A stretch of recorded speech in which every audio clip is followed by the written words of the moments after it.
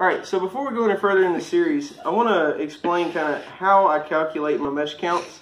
Uh, there's a really long and complicated um, formula for hanging percentages, and you'll hear people say things like hanging on a half or hanging on a third or hanging on whatever the percentage is.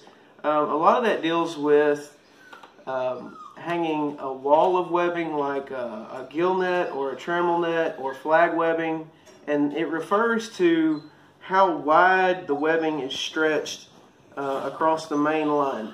So when we're dealing with that with hoop nets, we we have some of that comes into play. We want with a hoop net, we want the webbing to be longer than it is wide because if it's wider, then the net ends up with an hourglass shape between the hoops and you lose volume inside the net. So we want to get more meshes in the net than what we would really need per se and what we would might would think we need. So the way I calculate my mesh count, um, and just to show you, this is a two inch mesh. There are two different ways to measure meshes. You have bar mesh, which is you always count when you say an inch and a half mesh or a two inch mesh that refers to the bar. Um, and then you have stretched mesh, which would be the length, and it's basically, it's just two bars. So a mesh is the whole diamond, if you will. And when you tie a webbing, you tie half a mesh in a row. This is a two inch mesh, and I like to, and I've got the ruler here so you can see, I like to hang and I like to figure a bar's width on my diameter of the hoop. So what that means is, and it comes out to somewhere about a half ratio, hanging on a half ratio. Um, it's super easy to calculate, um, and it just makes it look a lot better. And this is what that would look like. So we have a we have a two inch bar, and so we've got every two inches we've got another mesh. So it's going to come out hanging about like this. It gives some looseness to the to the webbing, and it lets it it the nets just work better that way. Um, you hadn't got to have a whole. The more meshes you have, the um, the more your throat, you more you have to choke your throat down. So this works well. You want to have. Uh, I'm going to set this to the side here, and I'm going to pull over my piece of paper. I've already done some calculations. So we've got a 30 inch net. Okay, and use my homemade pointer here. Our 30 inch net, and we've got an inch and a half mesh. So there's two things we need to know how many meshes around do we want and how many meshes do we want between the hoops. And remember, a mesh is the whole diamond, right?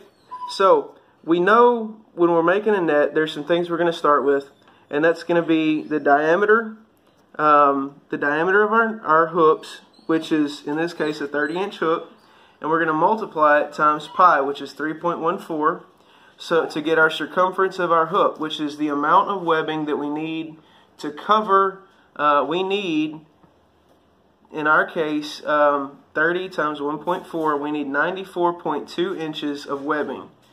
All right, so an inch and a half does not go into that very easily. Um, but to figure, so if we're going with our, our one bar width, we're going to go our circumference, which is 94.2, divided by our bar width of 1.5 equals 62.8 meshes. So we need 68 or 62.8 meshes to go around the diameter of the hoop on our 30 inch hoop. So I'm at 60 meshes if we remember in this series. Um, we want a mesh count to be a multiple of 6. So we can go, um, and this is this will explain itself when we get to tying our hoops or when we get to tying our meshes. Our meshes, we take um, 6 meshes out for our throat to, to choke down the way it needs to, so we need it to be a multiple of 6. There's always a close multiple, and, and you can just upsize, downsize, however you want to go. You can go upsize to 66 mesh, and your mesh is going to be a little bit tighter on the hoop, and the net's going to flow just a little bit longer. You go 60 meshes, it's not going to be quite. Um, it's going to spread the meshes out a little bit more when you take when you take webbing out you're not going to notice dropping six meshes on a 30 inch net on inch and a half webbing. It's it's not going to be that evident.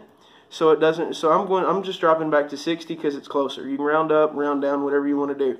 There is an official formula that I don't even understand.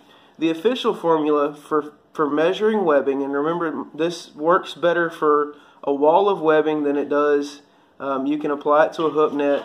Um, but the official formula is the stretched length of netting minus the length of netting divided by the stretched length of webbing.